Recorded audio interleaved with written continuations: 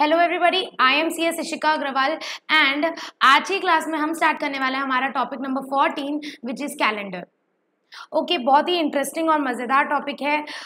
इसको समझना बहुत ज़रूरी है क्योंकि ये ये टॉपिक उतना लड्डू टॉपिक नहीं है, ये टॉपिक किसी किसी को थोड़ा डिफ़िकल्ट लगता है। तो अगर स्टार्टिंग से आप कंसेप्ट क्लियर करके एक एक चीज़ धीरे धीरे आहिस्ते आहिस्ते समझेंगे तो ये टॉपिक भी आपको ईजी लगने लग जाएगा।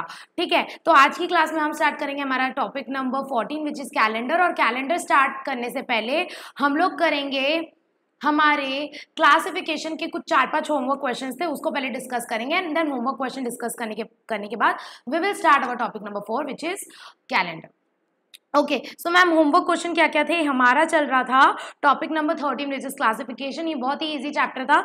इसका हमने एग्ज़ाम्पल क्वेश्चन कर लिए थे, कल की क्लास में बेसिक समझ लिया था आईसीएसआई के प्रैक्टिस क्वेश्चन कर लिए थे। हमारी बारी थी अब बोनस क्वेश्चन सॉल्व करने की राइट बोनस क्वेश्चन होमवर्क थे, बहुत सारे लोगों ने मुझे सॉल्व करके भेजा भी था।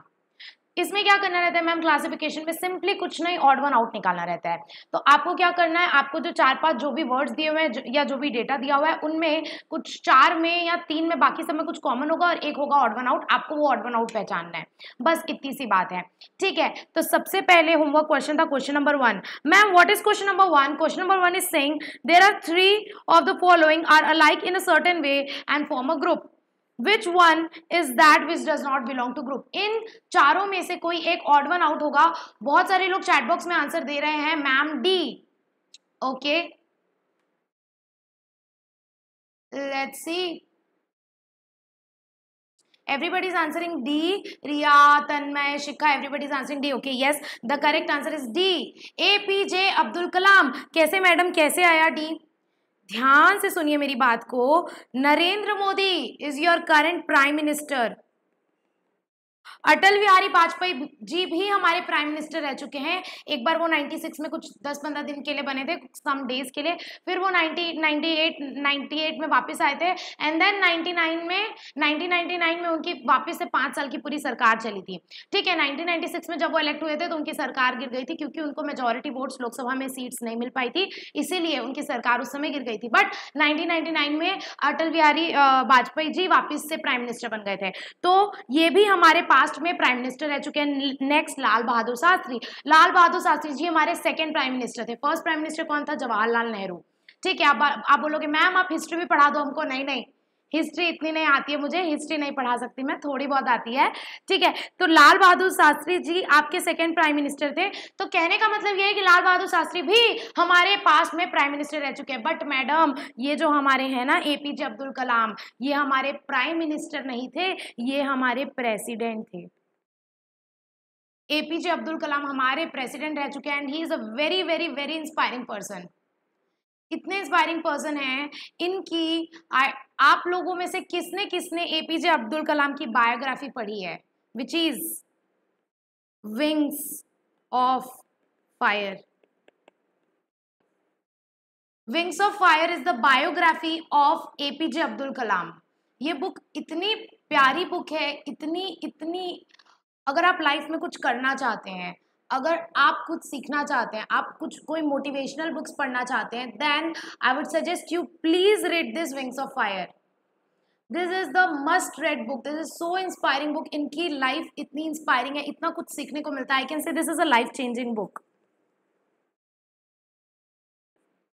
अगर आप लोग ने नहीं पढ़ाया है तो आई वुड से कि आपके पास अब एग्ज़ाम में भी टाइम है, आप बिल्कुल ये बुक पढ़ सकते हो। और अगर आप लोगों को ये बुक पढ़ना है then I have the PDF of this book if you want then you can message me I will send you this PDF so that you can read this book I would must recommend all of you to read this book okay तो मेरे पास PDF है, जिनको जिनको पढ़ना है वो बता देना। I will send you okay और आई अगर आप लोग बोलोगे तो मैं ग्रुप में भेज दूँगी। जिसको जिसको पढ़ना है they can read this I would suggest this a must read book okay so we are done with this अब हमारा क्या हो जाएगा? ए पी जे अब्दुल कलाम हमारे प्रेसिडेंट थे, बाकी सारे हमारे प्राइम मिनिस्टर थे, इसीलिए हमारा ऑड वन आउट हो जाएगा कौन सा? Option number D which is A P J Abdul Kalam with this we are done with homework question one moving towards question number two question number two में चार words दिए हुए हैं. Accounts economics physics and business studies you have to find out odd one out इसका answer तो clear cut physics समझ में आ रहा है। कई लोगों ने इकोनॉमिक्स भेजा मुझे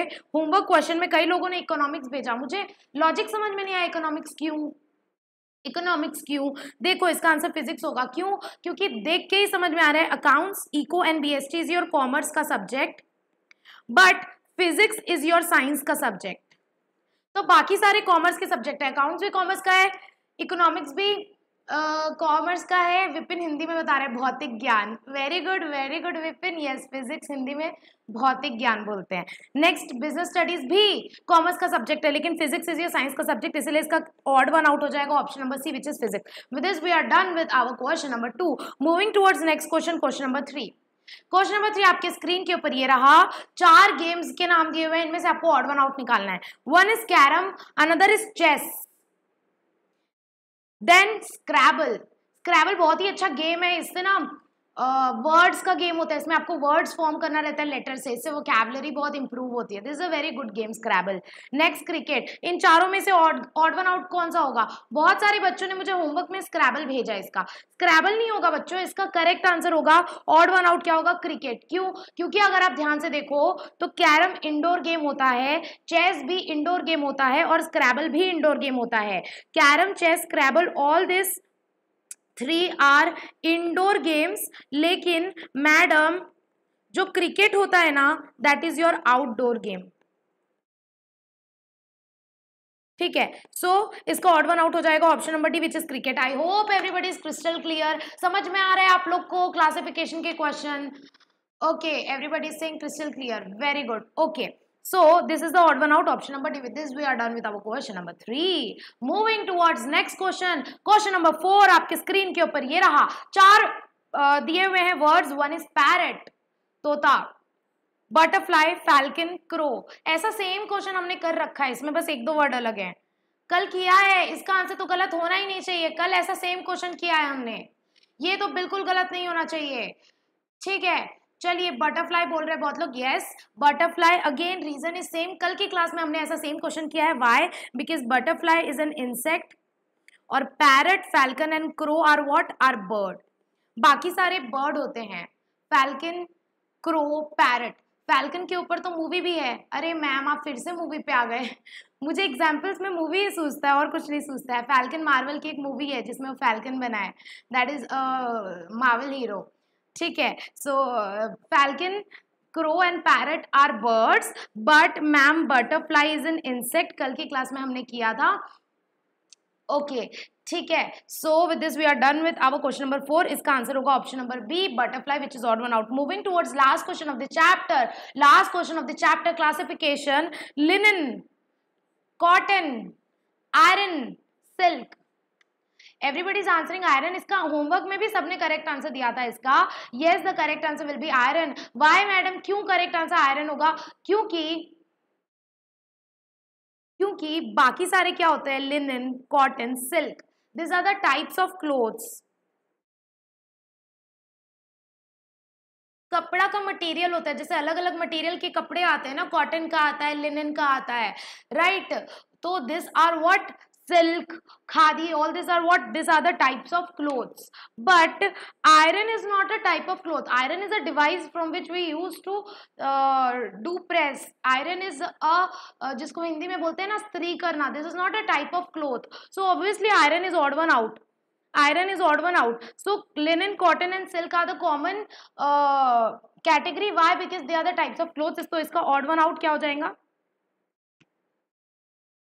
इसका ऑड वन आउट हो जाएगा option number C which is iron with this we are done with question number five and with this topic number thirteen classification बहुत ही अच्छे से, बहुत ही डिटेल में पूरा हो गया है कंप्लीट अब आज के क्लास में हम स्टार्ट करने वाले हमारा टॉपिक नंबर फोर्टीन जो है कैलेंडर जो इसका मैं बेसिक बताने वाली हूँ, वो बहुत इंपॉर्टेंट है.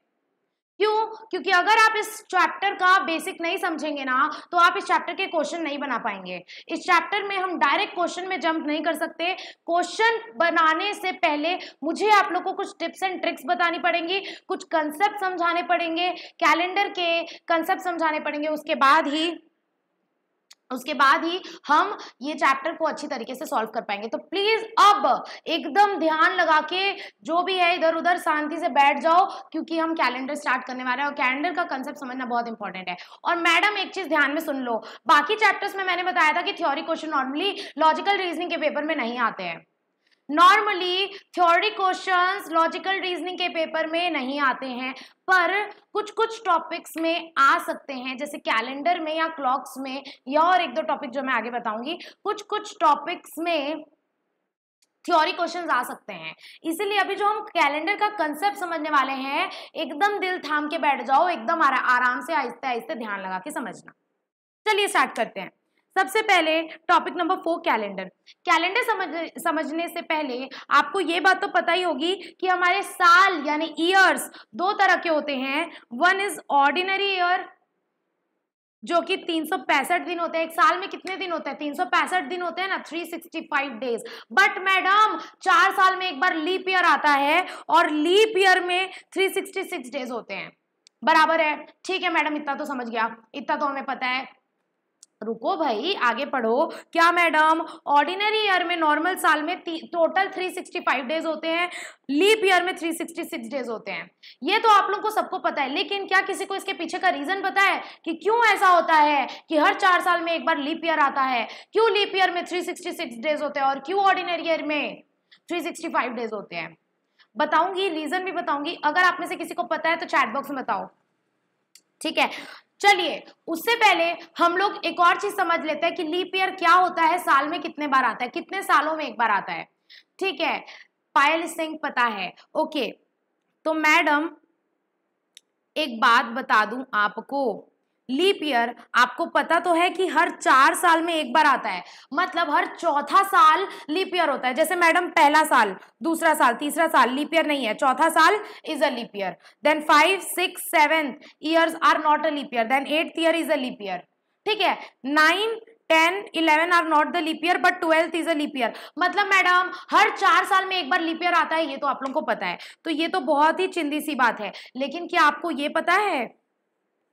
जैसे हर चार साल में एक बार आएगा तो हर सौवे साल में 200 साल में 300 साल में 400 साल में भी तो आएगा। लेकिन मैडम, एक बात ध्यान से सुनो every hundred year is not a leap year मतलब क्या मैडम, फिर से बता दो। Every hundred year is not a leap year मतलब मैडम, सौवा साल 200 वाला साल 300 400 500 छः सौ, सात सौ, आठ सौ एंड सो ऑन ये सारे साल लीप ईयर नहीं है, ठीक है? लेकिन every four hundred year is a leap year मतलब हर चार सौ साल इज़ अ लीप ईयर मतलब क्या सौवा साल लीप ईयर होगा? द आंसर इज़ नो दो सौ नो तीन सौ no four hundred year yes four hundred year is a leap year next five hundred वाला साल लीप ईयर होगा, क्या answer is no six hundred वाला साल होगा, क्या answer is no seven hundred वाला साल होगा, क्या answer is no eight hundred वाला साल लीप ईयर होगा आंसर इज़ यस तो मैडम, ये जो कंसेप्ट है, ये आया कहाँ से? ये किस, किसने बनाया? किसने बनाया ये कंसेप्ट कि हर चार साल में एक बार लीप ईयर आएगा, लेकिन हर सौवा साल लीप ईयर नहीं होगा, लेकिन four hundred year leap year होगा। अब इसका लॉजिक क्या है? मैं आपको बताती हूँ। अच्छा। इसका लॉजिक क्या है? मैडम आपको पता है, एक साल कैसे बनता है? जैसे ये सन है। ये कौन है? हमारे सूरज भैया। कोई सूरज है क्या हमारी क्लास में? नहीं है ना? गुड ये है हमारे सूरज भैया सन थोड़ा इनको बीच में ले आते हैं। अब, ये है इनके चारों ओर सारे प्लैनेट्स रिवॉल्व करते हैं। तो इनमें से हमारा एक प्लैनेट है अर्थ हमारी पृथ्वी। पृथ्वी पृथ्वी गोल घूम घूम के पूरे सूरज के चारों ओर चक्कर लगाती है। पृथ्वी गोल घूम घूम करके सूरज के चारों ओर चक्कर लगाती है और जब वो पूरा एक चक्कर कंप्लीट करती है तो बनता है हमारा एक साल। एक साल कैसे बनता है? जो पूरा अर्थ चक्कर लगाती है ना सन में, उसको उस, उसमें एक साल बनता है। उतना तो ठीक है मैडम। लेकिन मैडम, मैं आपको एक बात बता दूँ कि जो अर्थ है, वो पूरा सन का चक्कर एग्जैक्ट 365 डेज़ में नहीं लगाता है। जो सन है, जो अर्थ है हमारा धरती, वो सूरज का चक्कर 365 days 5 hours 48 minutes and 47.5 seconds में लगाता है। मतलब अगर एग्जैक्ट टाइम की बात करें तो हमारा जो धरती है, वो पूरा एक चक्कर लगाता है सन का। Four three sixty five days five hours forty eight minute forty seven point five seconds अब क्या हम एग्जैक्ट इतने टाइम को एक साल बनाएँगे? द आंसर इज़ नो हम एक साल किसको मानते हैं? एक साल 365 डेज़ को मानते हैं। सिर्फ़ हम एक 365 डेज़ को एक साल मान लिए। तो ये डेज़ तो छूट गया ना? कौन से? ये पाँच घंटे तो छूट गए ना? अब एक बताओ, एक बात बताओ मेरे को, एक साल में पाँच घंटे एक्स्ट्रा निकल गए। एक्स्ट्रा हो गए तो अब दूसरे साल में फिर पाँच घंटे एक्स्ट्रा हो जाएँगे मतलब दस घंटे एक्स्ट्रा हो गए, फिर तीसरे साल में पंद्रह घंटे एक्स्ट्रा हो जाएँगे। तो ऐसे कर, करके ना मैडम, चार साल में ना पूरा एक दिन एक्यूमुलेट हो जाता है मतलब चार साल में ना चौबीस घंटे एक्यूमुलेट हो जाते हैं। इसीलिए इसीलिए ना हर चार साल में एक बार हम एक दिन एक्स्ट्रा बढ़ा देते हैं। क्यों? क्योंकि चौबीस घंटे बढ़ जाते हैं चार साल में, क्योंकि यहाँ पर अपन हर साल पाँच पाँच घंटा फोर्टी एट मिनट्स कम ले रहे हैं। तो वो उतने सालों में बढ़ जाता है। तीन तीन, चार साल में उतना बढ़ जाता है, इसलिए हम चार साल में एक दिन बढ़ा देते हैं और हर चार साल में एक बार क्या आ जाता है? लीप ईयर आ जाता है। इतना समझ में आया, ठीक है? तो इसको हम क्या बोल सकते हैं? इसको हम बोलते, बोल सकते हैं three sixty five point two four two two days अगर पॉइंट में लिखेंगे तो इट इज़ एक्चुअल में जो धरती चक्कर लगाती है और सन के वो लगाती है three sixty five point two four two two days में। तो मैडम, हर साल हर साल zero point two four two two days extra निकल गए। तो चार साल में कितने दिन हो जाएँगे मैडम? चार साल में हो जाएँगे into four which is zero point nine six eight eight days अब ये पूरा एक दिन भी नहीं हो रहा है। पूरा एक दिन नहीं हो रहा है, थोड़ा एक दिन में चौबीस घंटे में थोड़ा सा कम हो रहा है। क्यों? क्योंकि पूरा वन वन डे नहीं निकल के आ रहा है, ज़ीरो पॉइंट नाइन डे निकल के आ रहा है, ज़ीरो पॉइंट नाइन सिक्स बन रहा है। ठीक है? तो इसको हम एज अ एक एक दिन एक दिन अज्यूम कर लेते हैं और हर चार साल में एक दिन बढ़ा देते हैं। लेकिन ये भी तो गलत है, क्यों? क्या पूरा एक दिन एक्स्ट्रा निकल रहा है? नहीं मैडम, एक दिन में थोड़ा कम निकल के आ रहा है, zero point nine eight eight निकल के आ रहा है।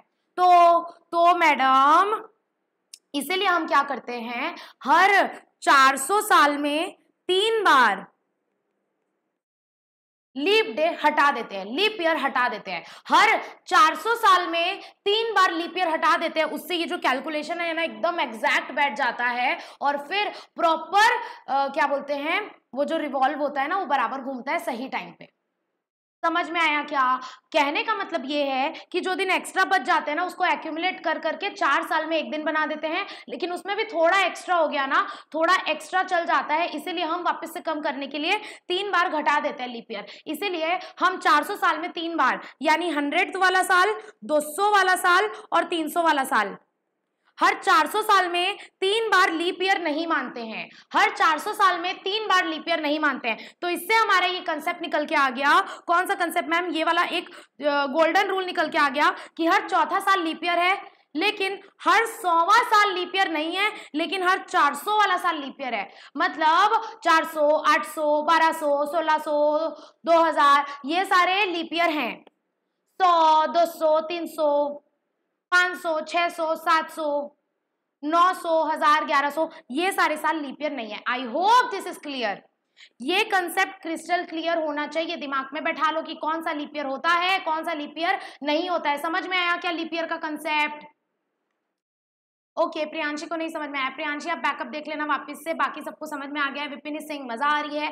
चलिए सबको समझ में आ गया है। Vaishnavi Shikha Sushmita Singh crystal clear Janvi Singh crystal clear चलिए तो with this we are moving forward क्या होता है? हमें एक बार समझ गया एक बार फिर से रिपीट कर लेते हैं कि नॉर्मल डेज़ में थ्री डेज़ होते हैं लीप ईयर में थ्री डेज़ होते हैं। लीप ईयर कब कब आता है? हर चार साल में एक बार आता है। लेकिन हर सौवा साल लीप ईयर नहीं होता है। हर चार सौ वाला साल लीप ईयर होता है। आगे बढ़ते हैं, मैडम। आगे बढ़ते हैं। अब आप लोगों को कैलेंडर के क्वेश्चन किस तरह से आएँगे? कौन सा कंसेप्ट लगा करके आप लोगों को कैलेंडर के क्वेश्चन सॉल्व करने हैं? तो मैम, एक कंसेप्ट है ऑड डेज़ का। Odd days madam odd days क्या होता है? बता दो। देखो ऑड डेज़ का कंसेप्ट अभी मैं आपको समझाऊँगी। ये आपको बहुत अच्छे समझ में आना चाहिए, क्योंकि कैलेंडर के मोस्ट ऑफ़ द क्वेश्चन ये ऑड डेज़ का कंसेप्ट लगा करके सॉल्व होंगे। अब मैं आपको बताती हूँ ऑड डेज़ क्या होता है। अब अगर मैं आपसे पूछूँ, मैडम, आज कौन सी तारीख है? आज है उन्नीस अगस्त। छोड़ दो। अच्छा चलो। अगर मैं आपको बोलूँ, मैडम, अगर मैं आपको बोलूँ कि एक अगस्त 2021 को कौन सा डे है? एक अगस्त 2021 को मंडे है। मान के चलो मैं अज्यूम कर रही हूँ कि एक अगस्त 2021 को मंडे है। मान लो ये मैंने क्वेश्चन दे दिया कि एक अगस्त 2021 को मंडे है। और अगर मैं आपसे पूछूँ कि मैडम, मैं आपसे पूछूँ कि आकांक्षा, मुझे ये बता दो कि ट्वेंटिथ ट्वेंटी ज़्यादा हो गया। दूसरा एग्ज़ाम्पल लेते हैं। टेंथ तारीख को, टेंथ अगस्त को कौन सा डे होगा? टेंथ अगस्त को विच डे कौन सा डे होगा? अगर मैं आपसे कहूँ, अगर मैं कहूँ कि मैडम, एक अगस्त को ना मंडे है, एक अगस्त को ना मंडे है तो दस अगस्त को कौन सा डे होगा?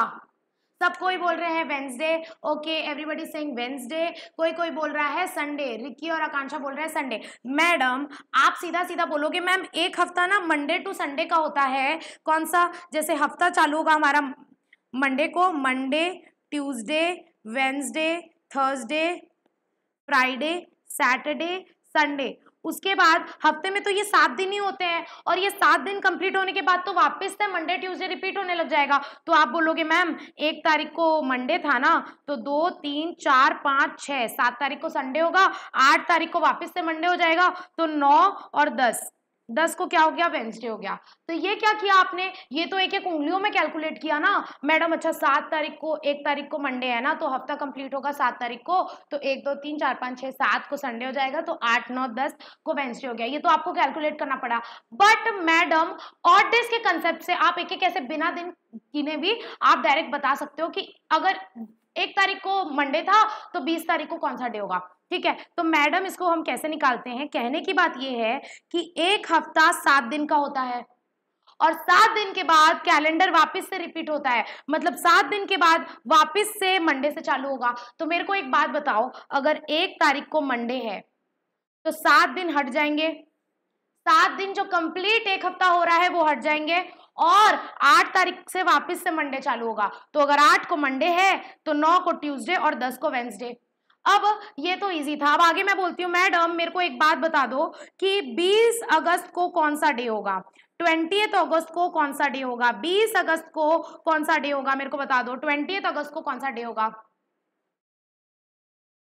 Again everybody saying Wednesday Amrita is saying Saturday Amisha is saying Tuesday अलग अलग आंसर आ रहे हैं। सैटरडे ट्यूसडे वेंसडे सब आ रहा है। चलिए देखते हैं। अब आपको मैं बताऊँ, मैडम, एक तारीख से सात तारीख तक पूरा एक एक हफ़्ता कंप्लीट हो गया। एक हफ़्ता ये वाला अच्छा इसको एक बार मैं मिटा देती हूँ और इसको भी मिटा देती हूँ, ठीक है? मेरे को बताओ, एक तारीख से सात तारीख तक हमारा क्या हो गया? पूरा हफ़्ता कंप्लीट हो गया। अब वैसे ही आठ तारीख से नौ, दस, ग्यारह, बारह, तेरह, फोर्टीन फोर्टीन तारीख तक फिर से एक पूरा हफ़्ता कंप्लीट हो गया। तो बचे कितने दिन? पंद्रह, सोलह, सत्रह, अठारह, उन्नीस, बीस। तो मैडम, एक बात बोल सकती हूँ मैं आपको? यहाँ आपको समझ में आ रहा हो कि मैडम 20 तारीख को कौन सा डे आएगा? मैडम 20 तारीख को सैटरडे आएगा। 20 तारीख को सैटरडे आएगा। कैसे आया मैडम? एक बात बताओ मेरे को।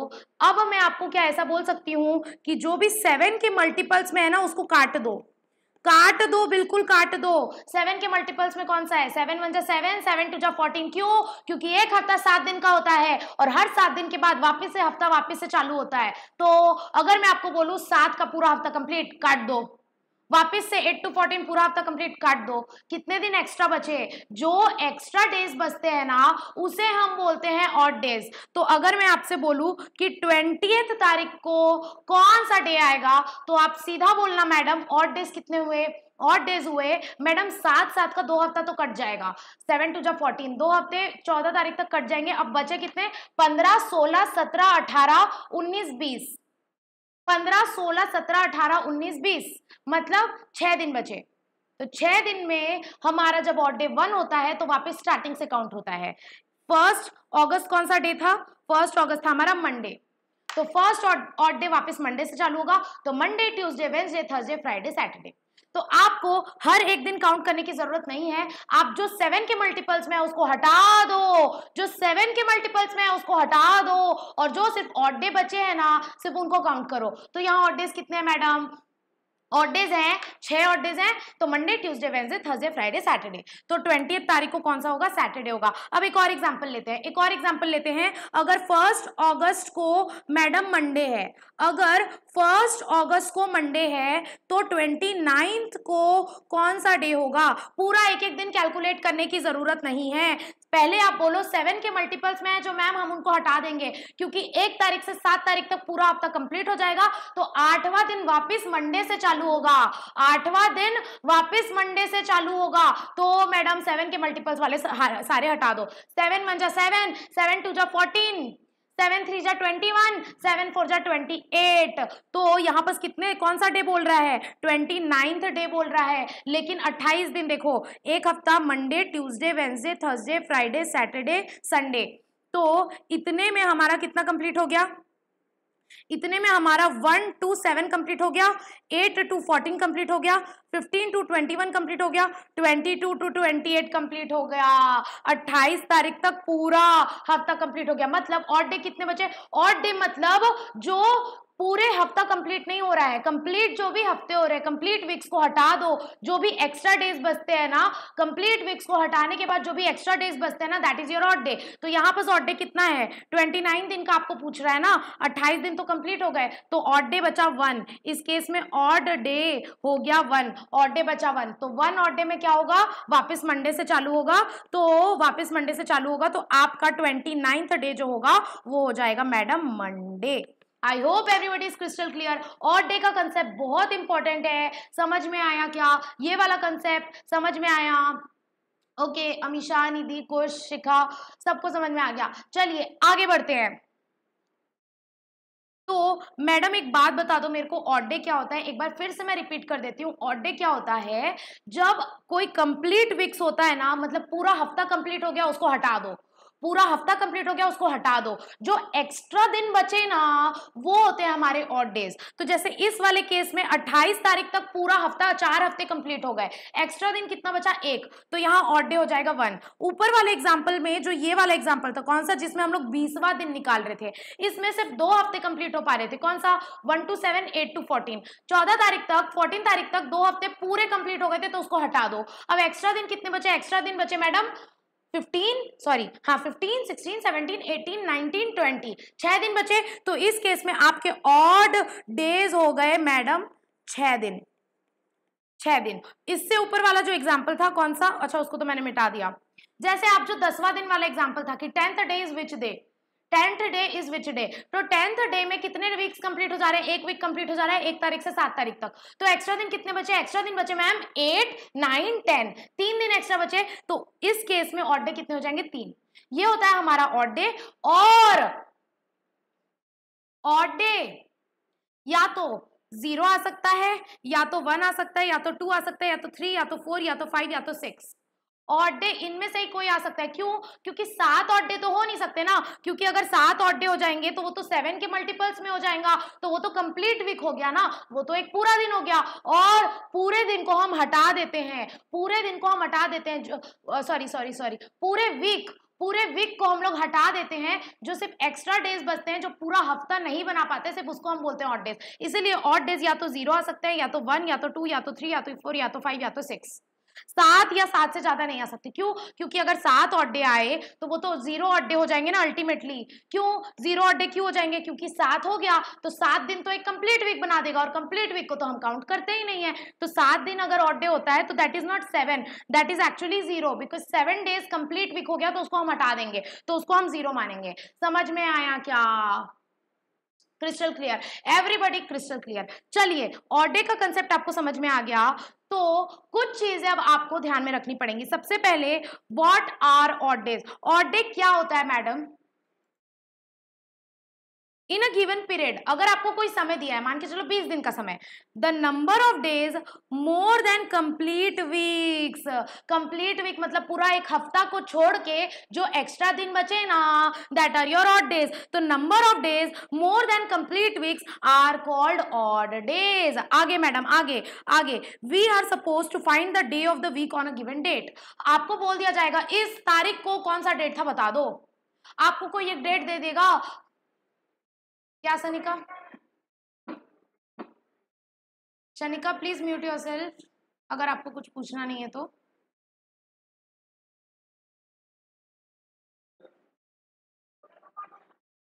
Sanika please mute yourself you are creating disturbance okay ठीक है, मैं कहा थी? Okay okay. आपको एक डेट दे दिया जाएगा कि बता दो पंद्रह अगस्त को कौन सी डेट थी। बता दो पंद्रह अगस्त को कौन सी डेट थी तो आपको वो डेट निकालनी पड़ेगी। ठीक है? कैसे? और डेज़ की मदद से निकाल पाएँगे हम और डेज़ की। बिल्कुल चिंता मत करो, बस अभी कंसेप्ट समझो। धीरे धीरे हम जैसे क्वेश्चन सॉल्व करेंगे ना, आपको समझ में आ जाए तो हम कैलेंडर के बहुत सारे क्वेश्चन सॉल्व करने वाले हैं। ठीक है? तो अब मेरे को एक बात बता दो for this we use the concept of odd days आपको एक डेट का डे निकालने के लिए, इस तारीख को कौन सा डे था, वो डे निकालने के लिए हम ऑड डेज़ का कंसेप्ट यूज़ करते हैं। अब आपको ये तो समझ में आ गया ऑड डेज़ क्या है। और अगर आपको ये समझ में आ गया कि ऑड डेज़ क्या है तो आप मुझे बता देंगे, मैडम, जनवरी का जो महीना होता है, जनवरी, मार्च, मई, जुलाई, अगस्त, अक्टूबर, दिसंबर का जो महीना होता है, उसमें टोटल इकतीस दिन होते हैं। ये तो सबको पता होगा कि मैडम जनवरी जनवरी, फरवरी सॉरी फरवरी नहीं, जनवरी, मार्च, मई, जुलाई, अगस्त, अक्टूबर, दिसंबर। ये सारे जो मंथ्स होते हैं, इनमें इकतीस दिन होते हैं। और अगर किसी को याद नहीं होता ना तो मैं ये वाला कंसेप्ट यूज़ करती हूँ। ये जनवरी, फरवरी, मार्च, अप्रैल, मई, जून, जुलाई, अगस्त, सितंबर, अक्टूबर, नवंबर, दिसंबर। ऐसे करना समझ में आ जाएगा। इसमें जो ऊपर वाला आता है ना बोन वाला में जो आता है, वो थर्टी वन डेज़ वाला होता है और जो नीचे आता है, वो तीस दिन वाला होता है। मैं ऐसे ऐसे करके देखती हूँ, क्योंकि मुझे कई बार याद नहीं आता। अरे अगस्त में कितने कितने डेज़ होते हैं? Monday Tuesday Wednesday Thursday Friday Saturday अरे मंडे नहीं, जनवरी, फरवरी, मार्च, अप्रैल, मई, जून, जुलाई, अगस्त। अगस्त ऊपर वाले बोन में आ रहा है मतलब अगस्त में इकतीस दिन होते हैं। ठीक है? तो ये वाला कंसेप्ट ऐसे करके निकालना, कभी आप कंफ्यूज नहीं होगे कि कौन से महीने में कितने दिन होते हैं। निधि बोल रही है, मैं भी यही कंसेप्ट यूज़ करती हूँ। निधि बोल रही है, ये तो फ़ेमस है फ़ेमस है, बाकी सबको भी ये वाला करते हो ना, ये वाला? कौन कौन करता है?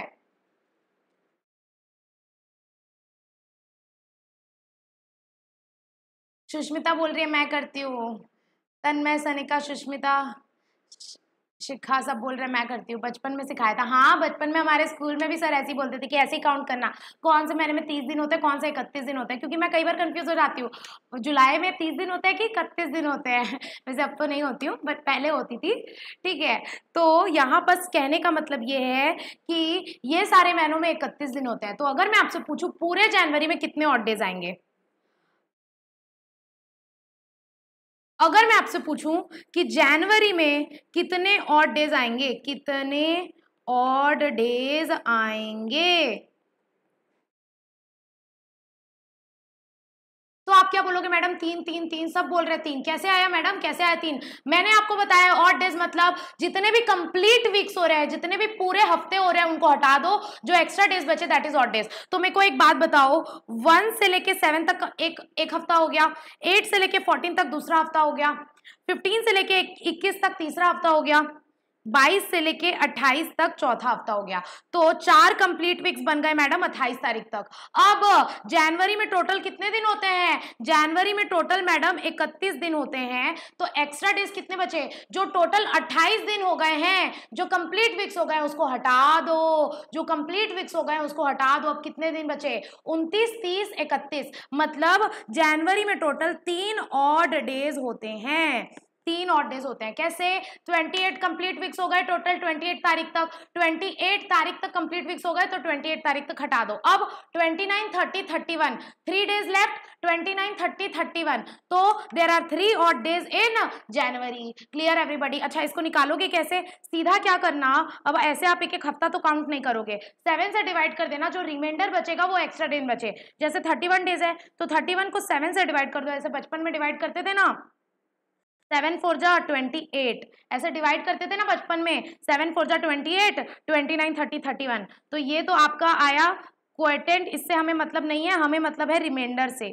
ये जो हमारा रिमाइंडर आया ना सेवन से डिवाइड करने के बाद जो रिमाइंडर आया ना this is your odd day this is your madam odd days clear everybody तो ऑड डेज़ कैसे निकालोगे? सिंपली डिवाइड बाई सेवन कर दो। सेवन से डिवाइड करोगे तो अट्ठाईस दिन पूरे खत्म हो जाएँगे।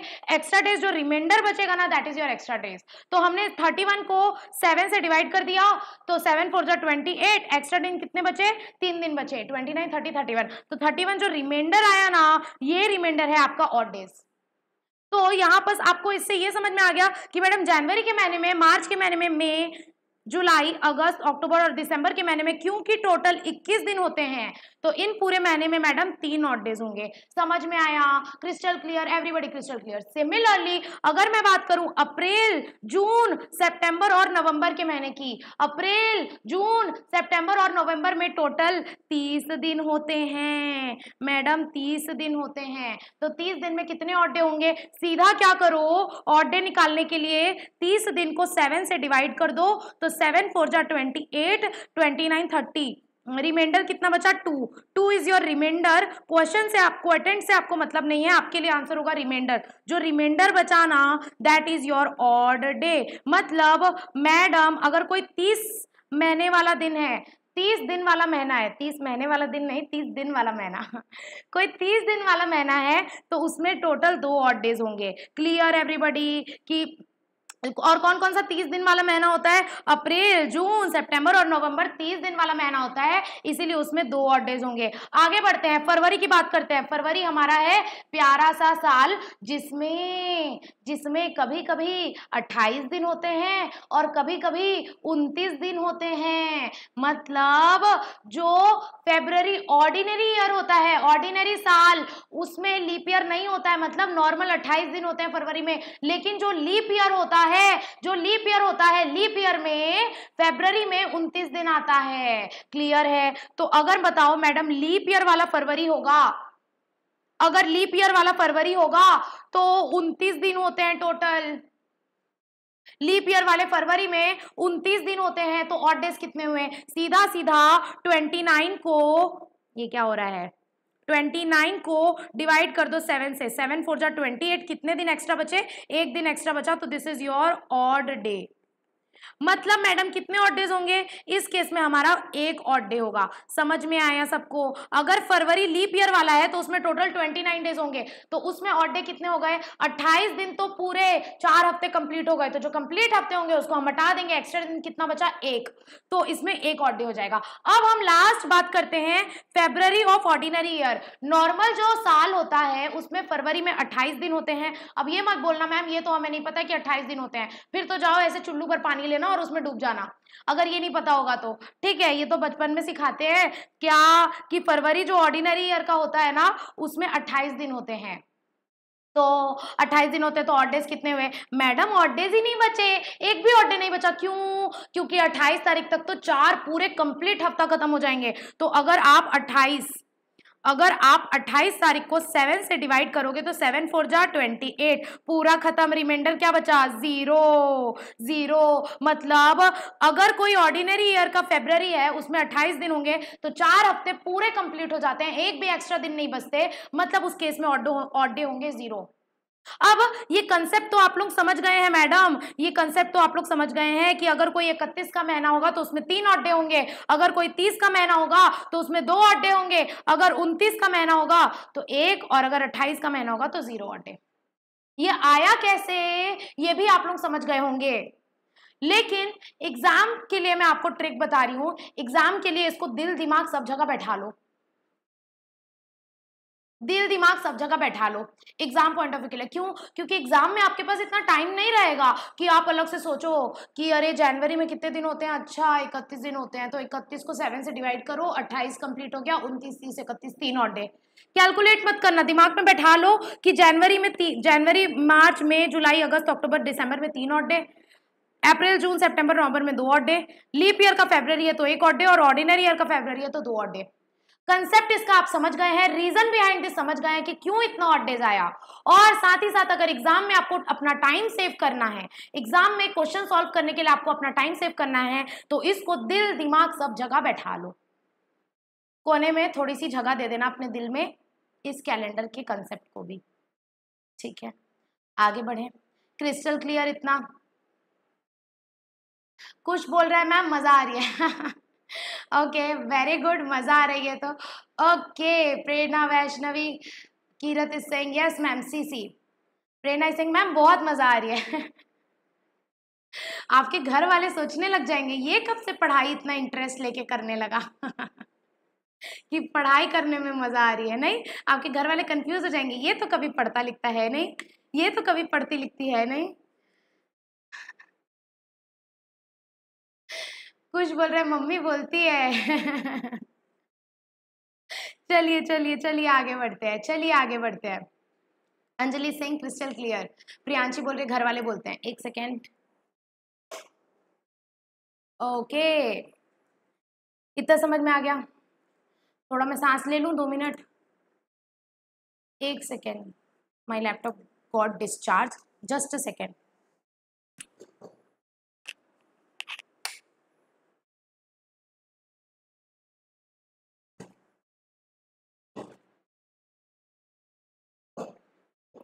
okay. हाँ जी। चलिए अब मेरे को ये तो आप लोग बता दिए कि कौन से महीने में कितने ऑड डेज़ होंगे। जरा ये भी तो बताओ कि एक साल में कितने ऑड डे होंगे। मैंने आपको क्या बोला कि एक ऑर्डिनरी ईयर की बात करें तो टोटल 365 डेज़ होते हैं। अगर लीप ईयर की बात करें तो टोटल 366 डेज़ होते हैं। तो मेरे को एक बात बताओ मैडम कि एक ऑर्डिनरी ईयर में कितने ऑड डेज़ होंगे और एक लीप ईयर ईयर में कितने ऑड डेज़ होंगे? कैसे निकालोगे मैडम जो कंप्लीट वीक्स है मतलब जो डिविजिबल बाई सेवन है। क्यों? क्योंकि जो सेवन होगा सेवन के मल्टीपल्स में seven fourteen twenty one twenty eight so one thirty five जो सेवन के मल्टीपल्स में है, वो तो हट जाएँगे। क्यों? क्योंकि वो पूरा एक कंप्लीट हफ़्ता बना देंगे। जो एक्स्ट्रा दिन बचेंगे दैट आर ऑड डेज़ तो हम उसके लिए क्या करते हैं? हम डिवाइड बाई सेवन करते हैं और जो रिमाइंडर बचता है that is your odd day तो अगर आप वन ईयर की बात करें, एक साल की बात करें, मैडम, अगर आप एक साल की बात करें तो एक साल में कितने दिन होते हैं? थ्री सिक्सटी फाइव डेज़ होते हैं। तो इसमें कंप्लीट हफ़्ते कितने हो जाएँगे? Three sixty five divided by seven करके देखो, क्योंकि एक हफ़्ते में सात दिन होता है। तो डिवाइड बाई सेवन करोगे तो मैडम सेवन फाइव जा थर्टी फाइव बचा कितना? One five fifteen seven two जा फोर्टीन बचा कितना मैडम? वन। रिमाइंडर कितना बचा मैडम? वन। तो कितने ऑड डेज़ हुए? One is your odd days कैसे मैडम? आपको पता है ना कि एक साल में फिफ्टी टू हफ़्ते होते हैं। एक साल में फिफ्टी टू वीक्स आते हैं। लेकिन फिफ्टी टू वीक्स के साथ साथ एक एक्स्ट्रा दिन भी रहता है। क्यों? क्योंकि फिफ्टी टू कंप्लीट वीक्स होते हैं टोटल फिफ्टी टू वीक्स में कितने three sixty four days complete हो जाते हैं? मतलब पूरे फिफ्टी टू हफ़्ते कंप्लीट हो गए और लास्ट में बच जाता है एक एक्स्ट्रा दिन। तो ये जो एक एक्स्ट्रा दिन बच गया this is your odd day समझ में आया क्या सबको कि एक साल में पूरे थ्री सिक्सटी फाइव डेज़ में अगर कोई ऑर्डिनरी ईयर है, यहाँ एक ईयर नहीं बोलते, एक ऑर्डिनरी ईयर बोल देते हैं। एक ऑर्डिनरी ईयर एक ऑर्डिनरी ईयर में कितने ऑड डेज़ होते हैं? एक ऑड डे होता है। क्यों? क्योंकि 52 तो टोटल कंप्लीट वीक्स हो जाते हैं तो लास्ट में रिमाइंडर बचता है एक। तो एक ऑड डे हुआ हमारा किसमें? एक ऑर्डिनरी ईयर में। सिमिलरली अगर एक लीप ईयर की बात करें, एक लीप ईयर की बात करें तो एक लीप ईयर में टोटल मैडम 366 डेज़ होते हैं। तो ऑड डे कितना हुआ मैडम अगर आप 366 को डिवाइड करो बाय सेवन तो सेवन फाइव जा थर्टी फाइव रिमाइंडर कितना बचा? सिक्सटीन सेवन टू जा फोर्टीन, फिफ्टीन, सिक्सटीन, दो। अब ये डिवाइड करना तो आता है ना आप लोगों को। बचपन में सीखे हो ना, ये डिवाइड करना तो आता है ना। डिवाइड कैसे करते हैं? ये रिमाइंडर आया कितना? टू तो एक लीप ईयर में कितने ऑर्डेज डेज़ हो जाएँगे? दो ऑर्डेज डेज़ हो जाएँगे। अगर ये डिवीज़न नहीं आता ना आपको तो वापस से सेम डायलॉग रिपीट ऐसे चुल्लू भर पानी लेना और उसमें डूब जाना। ठीक है? कैसे? क्यों? क्योंकि बचपन में सीखे अपन मल्टीप्लीकेशन डिवाइड करना क्लास सेकेंड थर्ड में। तो अगर आप 366 डेज़ को सेवन से डिवाइड करोगे तो 52 कंप्लीट फिक्स आ जाएँगे एक्स्ट्रा रिमाइंडर बचेगा दो। मतलब एक अगर हम लीप ईयर की बात करें तो लीप ईयर में टोटल 366 डेज़ होते हैं तो ऑड डेज़ कितना आ जाएगा? दो। ऑड डेज़ कितना आ जाएगा? दो। तो इससे हमारा ये कंसेप्ट क्लियर होता है मैडम कि अगर मैं बात करूँ आपसे एक ऑर्डिनरी ईयर जो 365 डेज़ का होता है, उसमें कितने ऑड डेज़ होंगे? एक ऑड डे होगा। ठीक है? और अगर एक लीप ईयर है, जिसमें 366 डेज़ होते हैं तो उसमें कितना ऑड डे होगा? उसमें दो ऑड डे होगा। समझ में आया? अरे, एक घंटा हो गया। मुझे टाइम का पता ही नहीं चला। अच्छा ठीक है। आज की क्लास यही एंड करते हैं। मैं सोचा था आज, मैंने सोचा था आज हम आईसीएसआई प्रैक्टिस क्वेश्चन स्टार्ट कर देंगे कैलेंडर के। बट कोई दिक्कत नहीं है कंसेप्ट समझना ज़्यादा इंपॉर्टेंट है। और डेज़ का कंसेप्ट बहुत इंपॉर्टेंट है। और डेज़ का कंसेप्ट बहुत इंपॉर्टेंट है। अगर एक बार आप और डेज़ का कंसेप्ट समझ गए ना तो क्वेश्चन सॉल्व करना तो ना ऐसे बाएँ हाथ का। बाएँ हाथ कौन सा होता है? लेफ़्ट हैंड ना? हाँ। बाएँ हाथ का ऐसे खेल हो जाएगा आपका क्वेश्चन सॉल्व करना तो। तो तो अभी आप कंसेप्ट समझ लो। इस कंसेप्ट को प्लीज़ कल के क्लास में रिवाइज करके आना, मेरे प्यारे बच्चों। मेरे प्यारे बच्चों प्लीज़ कल के क्लास में ये जो कंसेप्ट मैंने आज पढ़ाया, इसको रिवाइज करके आना, ताकि आपको कैलेंडर के क्वेश्चन आसान लगे और कैलेंडर का क्वेश्चन अच्छे से बने। प्लीज़ सबको रिवाइज करके आना। ठीक है? तो आज की क्लास हम लोग यही एंड करते हैं। कल की क्लास में हम कैलेंडर के कैलेंडर का कंसेप्ट वैसे कंप्लीट हो गया है। कल की क्लास में हम कैलेंडर के क्वेश्चन सॉल्व करना चालू करेंगे। बड़े ही बड़ा ही मज़ा आएगा कैलेंडर के क्वेश्चन सॉल्व करने में। तो हम आज की क्लास यही एंड करते हैं। आई होप आप सभी को समझ में आ रहा है जो मैं यहाँ पढ़ाना चाह रही हूँ। अगर इसके बाद भी आपको कोई डाउट है, अगर किसी को कोई टॉपिक नहीं समझ में आया तो please do let me know over WhatsApp और any other medium i will try to solve your doubts. Okay with this i am uh, uh, ishika agrawal i am taking leave. Take care. Bye bye